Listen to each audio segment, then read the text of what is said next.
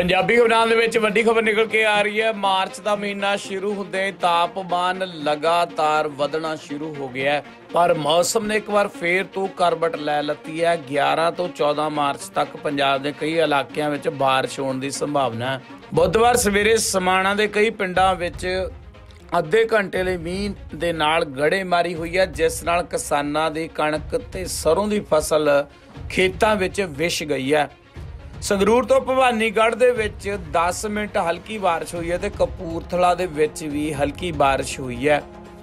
ਉੱਥੇ ਹੀ ਮਾਰਚ ਦੀ ਦੂਜੀ ਪੱਛਮੀ ਗੜਬੜੀ ਸਰਗਰਮ ਦਿਖਾਈ ਦੇ ਰਹੀ ਹੈ। ਇਸ ਤੋਂ ਇਲਾਵਾ ਅਗਲੇ 2 ਦਿਨਾਂ ਤੱਕ ਕਈ ਸੂਬਿਆਂ 'ਚ ਤੂਫਾਨ ਦਾ ਅਲਰਟ ਜਾਰੀ ਕੀਤਾ ਗਿਆ ਹੈ। ਹਿਮਾਚਲ, ਕਸ਼ਮੀਰ, ਲੱਦਾਖ ਸਮੇਤ ਕਈ ਥਾਵਾਂ ਤੇ ਭਾਰੀ ਬਾਰਿਸ਼ ਹੋਣ ਦੀ ਸੰਭਾਵਨਾ ਵੀ ਜਤਾਈ ਗਈ ਹੈ, ਜਿਸ ਦੇ ਨਾਲ ਪੰਜਾਬ ਦੇ ਵਿੱਚ ਕਿਸਾਨਾਂ ਦੀ ਚਿੰਤਾ ਦੁੱਗਣੀ ਹੋ ਗਈ ਹੈ ਤੁਹਾਨੂੰ ਦੱਸ ਦਈਏ ਕਿ ਪੰਜਾਬ ਦੇ ਵਿੱਚ ਜਿੱਥੇ ਕਣਕ ਦੀ ਫਸਲ ਆਲਮੋਸਟ ਤਿਆਰ ਹੋ ਚੁੱਕੀ ਹੈ ਤੇ ਅਪ੍ਰੈਲ ਦੇ ਮਹੀਨੇ ਵਿੱਚ ਜਾ ਕੇ ਵਾਢੀ ਹੋਣੀ ਆ ਪਰ ਇਹ ਸਮਾਂ ਬੜਾ ਨਾਜ਼ੁਕ ਸਮਾਂ ਦੱਸਿਆ ਜਾ ਰਿਹਾ ਹੈ ਤੇ ਇਸ ਮੌਕੇ ਤੇ ਗੜੇਮਾਰੀ ਤੇ بارش ਪੈਣਾ ਕਿਤੇ ਨਾ ਕਿਤੇ ਇੱਕ ਵੱਡੀ ਮੁਸ਼ਕਲ ਖੜੀ ਕਰ ਰਹੀ ਹੈ। ਪਰ ਆਉਣ ਵਾਲੇ ਸਮੇਂ ਦੇ ਵਿੱਚ ਵੀ ਦੱਸਿਆ ਜਾ ਰਿਹਾ ਹੈ ਕਿ ਮੌਸਮ ਭਾਗ ਨੇ ਜੋ ਚੇਤਾਵਨੀ ਜਾਰੀ ਕੀਤੀ ਹੈ, ਉਸ ਨੂੰ ਦੇਖ ਕੇ ਕਿਸਾਨਾਂ ਦੇ ਸਾਹ ਸੁੱਤੇ ਗਏ ਨੇ।